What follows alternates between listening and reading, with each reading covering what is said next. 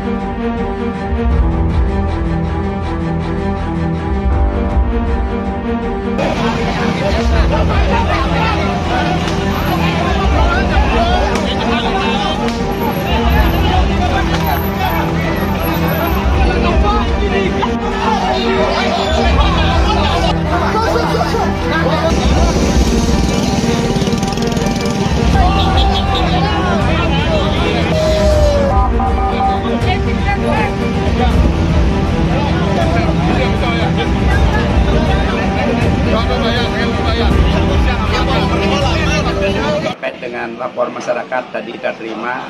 Adanya bule ngamuk membawa senjata tajam sampai ada amuk ke masa kami dari Sapol PP selaku lembaga penegak perda sudah menerjunkan 10 orang personil untuk pengaman tersebut.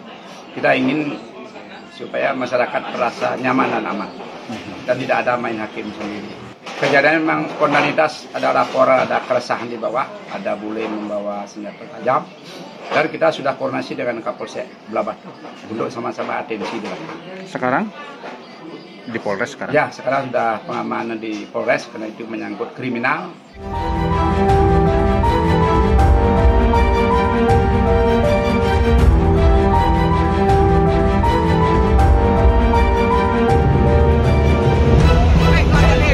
Patu, mobil jangan kau.